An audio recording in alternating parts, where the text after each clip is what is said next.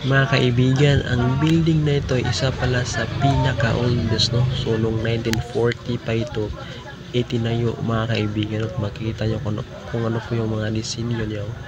Grabe mga kaibigan. No? Isa pa ito sa pinaka-treasured uh, properties of the parish. No? So, inireserve nila, uh, pinireserve nila ito mga kaibigan. No? Kung ano po yung nakikita nyo na design yan. No? Same pa din ah, hanggang ngayon no? Mga kaibigan yung design na yan is noong 1940 pa yan hanggang ngayon same pa rin mga kaibigan no? So ah, napakaganda yung pag ano niya mga kaibigan no? Dahil uh, preserve pa talaga kung ano po yung ah, design niya, struktura niya noong unang panahon